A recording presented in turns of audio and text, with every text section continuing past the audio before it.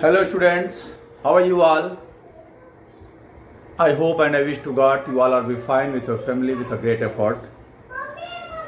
Now in this continue process, I'm Digvijay Singh. I will teach you maths of class 7th topic perimeter and area. In previous video, I've taught about that how can you find the area of a rectangle, how can you find the area of a square, area of triangle, area of parallelogram, application about area, a lot of things. And I hope you have to do a lot of practice with the help of my videos. Now today we will discuss about circle. That is chapter 10.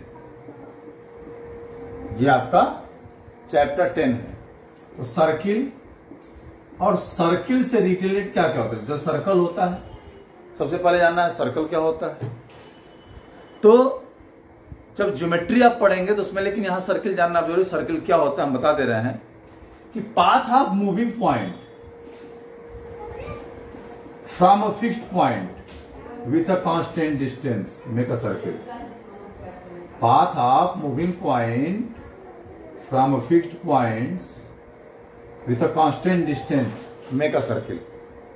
यानी कि एक fix point से कुछ constant distance लेकर उसके जो ये moving point से जो ट्रैक तैयार होता है, ये सरकमफ्रेंस कहलाता है। क्या कहलाता है ये? सरकमफ्रेंस और जो इसकी होल एरिया कहलाती है, वो सर्किल कहलाती है।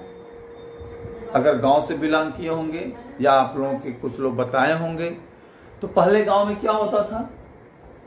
गन्ना या जो भी चीज़ के लिए बैल वगैरह से पेराई होती थी, गन्ने का रस निकाला जाता था। उसके लिए एक मशीन होती थी लोहे का, इस तरह करके बीच में लगा दिया जाता था। फिर यहाँ से लोहे की सहायता से एक बड़ी सी लकड़ी को बाँध दिया जाता था, ध्यान रखिएगा। और उसमें दो बैल, चार बैल बांधे थे। वो बैल क्या करते थे? घूमते से मूव करते थे। जब वो बैल मूव करते थे तो ये जो यहाँ पे रॉड लगा हुआ था, जो लोहा लगा हुआ था, वो मूव करता, घूमता था। उसी में गन्ना डालते थे, गन्ना उसमें से, उससे रस निकलता था। तो कहने का मतलब जो ये बैल थे, ये जो मूव कर रहे थे बैल तो इनके रास्ते से, इनके मूव करने से जो ये ट्रैक बना, ये हो गया सरकमफ्रेंस क्या हो गया ये? सरकमफ्रेंस और जो ये मशीन लगी हुई है, हो गया फिक्स्ड पॉइंट यानी सेंटर और जो ये लकड़ी लगी हुई है, इस फिक्स पॉइंट से लेके इन तक ये हो गया रेडियस तो आपने क्या क्या जाना सर्कल में? सर्कल में रेडियस सर्कल में आपने सरकमफ्रेंस सरकमफ्रेंस आना। और रेडियस से रिलेटेड डायमीटर होता है। डायमीटर क्या होता है? अगर एक सर्किल है, ध्यान रखिएगा, अगर कोई सर्किल है तो सर्किल के जब वही कह रहे हैं कि अभी तो ये पेरीमीटर एरिया पढ़ रहे हैं, आप जब ज्योमेट्री पढ़ेंगे, सारी चीज़ें उसमें क्लियर हो जाएँगी। लेकिन थोड़ा समझ लीजिए, जैसे ये सर्कल है तो सर्कल का ये सेंटर हो गया, ये रेडियस हो गया, और अगर कोई पॉइंट कोई लाइन सेंटर से होके जाती है पास होती है, यानी if we join any two points on the circle यानी सरकमफ्रेंस पे जो भी पॉइंट रहेगा, वो कहलाएगा ऑन द सर्कल तो इस सर्कल के ऊपर इस हमारे दो पॉइंट हैं ए और बी इनको मिला दिया और ये सेंटर ओ से जा रहे हैं. ये ए बी क्या कहलाएगा? ए बी डायमीटर कहलाएगा. ओ ए और ओ बी रेडियस कहलाएगा. रेडियस क्या हो जाएगा अगर ये सी है तो ओ ए ओ बी ओ सी तीनों रेडियस हैं. यानी अगर रेडियस को हम आर कहें और डायमीटर को d कहें तो d इज़ इक्वल टू होता है 2r और आर इज़ इक्वल टू होगा नहीं। Diameter is the twice of radius and radius is the half of diameter ये तो इनमें रिलेशन हो गया। If any one ask you that what is diameter then they will say that it is the twice of radius If anyone asks what is radius of a circle, then never say it is the half of diameter. ये ध्यान रखिएगा। Circle में chord होता है। Chord. जब हम circle के ऊपर कोई दो पॉइंट को मिला देते हैं तो इसको कॉर्ड कहते हैं। ठीक है? और जो कॉर्ड सेंटर से पास होता है, वो डायमीटर कहलाता है। तो कॉर्ड क्या होता है? If a line segment join any two points on the circle is called chord and which chord passing to the center is called diameter अब इसकी प्रॉपर्टी है कि diameter is the twice of radius और radius is the half of diameter तो यहाँ पे हमें circumference के बारे में जानना है। पहले लोकल बता दिया, आपको इतना चीज़ बता दिया। आप इस पर थोड़ा विचार कर लीजिएगा, बाकी जब इसके बारे में डिटेल पता चलेगा आपको जियोमेट्री में पढ़ाया जाएगा, ठीक है? अब जानिए सरकमफ्रेंस करते क्या जैसे बहुत सारे सर्कुलर चीज़ है बैंगल है आपके घर में, और ग्लास का टॉप है, या फिर बहुत सारी चीज़ें हैं, कुछ कहा नहीं जा सकता बेटा। बैंगल्स ले लीजिए आप, और सर्कुलर प्लेट ले सकते हैं आप बॉटल कैप ले सकते हैं क्वाइन ले सकते हैं, बहुत सारी चीज़ें हैं। जैसे वेट कर तो इसके माध्यम से हम लोग कर सकते हैं, कोई दिक्कत नहीं है आप देखिए। जैसे मेरे पास कुछ चीज़ें हैं, ये है सर्कुलर जो बच्चे पहनते हैं, ये सर्कुलर डब्बा है। तो अगर हम इसको यहाँ लगाकर, ध्यान दीजिएगा, अगर हम सर्कल ड्रा करते हैं, ध्यान समझिएगा। ये सर्कल ड्रा करते हैं। ये सर्कल ड्रा हो ठीक है? अब अगर हमें पता है कि ये कितना है। इसी तरीके से बहुत सारी चीज़ें हैं। बॉक्स है। आप आराम से लगा कर सकते हैं। कोई दिक्कत नहीं बेटा इस तरह कर सकते हैं आप। सर्कल बन जाएगा। तो बहुत सारी चीज़ें घर में होंगी आपके सर्कुलर का। तो अगर हम देखें यहाँ पे रख लें डायमीटर और यहाँ पे सरकमफ्रेंस ठीक है?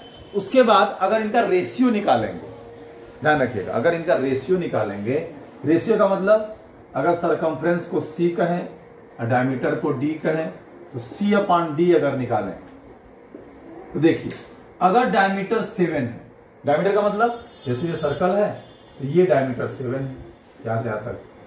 तो सरकमफ्रेंस निकालेंगे तो आप चेक करेंगे 22 होगा। कैसे होगा? ध्यान रखिएगा। आप एक्टिविटी कर सकते हैं। आप एक पेपर लीजिए और कंपास से 3.5 सेंटीमीटर रेडियस क्योंकि डायमीटर अगर सेवन है तो रेडियस 3.5 होगा।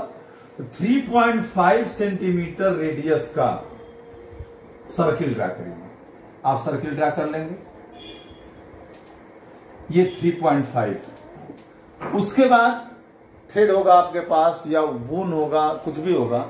आप क्या करिए, ये मीजर करिए। थ्रेड को लगा के ऐसे दे दे, इन पर लगाइए। ऐसे लगाइए। थ्रेड लगा लीजिए मीजर कर लीजिए, और फिर थ्रेड को मीजर करिए अलग करके। आप देखेंगे उसकी लेंथ 22 सेंटीमीटर आएगी। आप जब चेक करेंगे, उसकी लेंथ 22 सेंटीमीटर आएगी। अगर आपका डायमीटर 21 है डायमीटर अगर 21 है तो आप चेक करेंगे, ये 66 आएगा। अगर ये 21 है 21 का मतलब क्या होगा? ये पूरा 21 है 10.5 ये है। अगर डायमीटर 21 है तो रेडियस 10.5 होगा। तो तब आप जब इसको मीजर करेंगे, जब आप इसको मीजर करेंगे तो कोई धागे से आप ऐसे नाप लेंगे। अब इस धागे को मीजर करेंगे आप तो वो आएगा 66 सेंटीमीटर वो क्या आएगा? 66 सेंटीमीटर जब एक्टिविटी करेंगे, आपको क्लियर हो जाएगा। तो इस तरीके से बेटा, आप करते जाएँगे। अगर 14 रहेगा तो 44 आएगा। 14 रहेगा तो 44 आएगा। ये आप एक्टिविटी कर सकते हैं। यानी circumference is equal to होता है पाई इंटू डायमीटर यानी यहाँ क्या हो जाएगा? 22 टू बाई सेवन यहाँ भी रेशियो 22 टू बाई सेवन और यहाँ भी रेशियो 22 टू बाई सेवन रहेगा। यानी ये 22 टू बाई सेवन रेशियो क्या है? कांस्टेंट है। तो इसको हम एग्जैक्ट वैल्यू अगर इसकी निकालते हैं ये वैल्यू आती है मतलब एक राउंड फिगर में वैल्यू 3.14 आती है। इसको हम पाई से डिनोट करते हैं। इस तरीके से पाई लिखते हैं। पाई से डिनोट करते हैं। पाई की वैल्यू 22 टू बाई सेवन होती है। या क्वेश्चन में 3.14 दिया तो इसको लेंगे। नहीं तो इसकी एग्जैक्ट वैल्यू 22 बाई सेवन होती है। नहीं तो 3.14 अगर डेसिमल वैल्यू दिया है तो नहीं तो एग्जैक्ट वैल्यू इसकी क्या होती है? 22 बाई सेवन तो इस तरीके से सरकमफ्रेंस निकालते हैं। और इसकी एरिया क्या होती है? एरिया होती है। ये सरकमफ्रेंस हो गया पाई इंटू डी अगर D is equal to two R कर दें तो सरकमफ्रेंस हो जाएगा टू पाई आर क्यों? पाई इंटू टू आर या टू पाई आर हो जाएगा सरकम रेडियस दिया है तो टू पाई आर कर लें। डायमीटर दिया है पाई इंटू डी कर लें। और एरिया ऑफ़ सर्किल क्या होती है? एरिया ऑफ़ सर्किल होती है पाई आर स्क्वायर आर क्या है? रेडियस अगर हमें सर्किल की एरिया निकालें एरिया का मतलब क्या है? ये कितना एरिया है टोटल? ये पूरा। ठीक है? तो ये सर्कल के बारे में नॉलेज हो गया। आई होप आपको सारी चीज़ें क्लियर हो गई होंगी। हम इसी इवज में एक क्वेश्चन लगवा देते हैं। सारी चीज़ें क्लियर हो गई होंगी आपको। आप देख लीजिए। Find the circumference of the circle whose radius is आपके टेन डी का। ये टेन डी का क्वेश्चन है। ध्यान दीजिएगा। थोड़ा सा ध्यान दीजिए आप लोग। कोई दिक्कत नहीं है। इसको बार बार देखेंगे, समझ में आ जाएगा। क्या होता है बस फार्मूला याद रखिए। अभी हम क्लियर करते हैं टेन डी का पहला क्वेश्चन फ़र्स्ट का A part A part given है twenty one whose radius is find the circumference of the circle whose radius is first twenty one radius क्या है? आर ट्वेंटी वन सेंटीमीटर है। तो circumference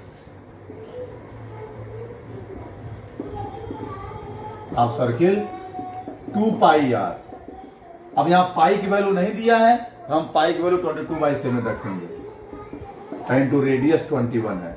seven three जा twenty one ये हो गया twenty two two जा फोर्टी फोर इंटू थ्री इतना सेंटीमीटर ये आ गया, आपका सरकमफ्रेंस हो गया, कोई दिक्कत नहीं। है तो कहने का मतलब यह है, इसी तरीके से मान लीजिए बी पार्ट है। रेडियस है थर्टी फाइव सेंटीमीटर सरकमफ्रेंस को अगर सी कहें सी तो C is equal to two pi R two into twenty two by seven into radius thirty five दिया है। सेवन फाइव जा थर्टी फाइव ये क्या हो जाएगा? Two into one hundred ten twenty two five one hundred ten या two hundred twenty centimetre तो इस तरीके से क्वेश्चन सॉल्व होता है। कोई दिक्कत नहीं है। आई होप आपको सारी चीज़ें क्लियर हो रही होंगी। ठीक है बेटा? तो इस तरीके से हम नेक्स्ट वीडियो हम लोग नेक्स्ट क्वेश्चन लगाएँगे। ठीक है? सरकमफ्रेंस ऑफ़ सर्किल फार्मूला आपको याद होना चाहिए। फार्मूला याद तभी होगा उस पर क्वेश्चन ज़्यादा ज़्यादा लगाएँगे आप। If you have to solve lot of question then you can solve each and everything तो अगर क्वेश्चन सॉल्व करेंगे प्रैक्टिस करेंगे तो फार्मूला अपने आप दिमाग में बैठ जाएगा। तो इस तरीके से आप इसको लगाएगा। नेक्स्ट वीडियो हम लोग इसके आगे क्वेश्चन करवाएँगे। तब तक के लिए आप स्वस्थ रहिए, मस्त रहिए। Thank you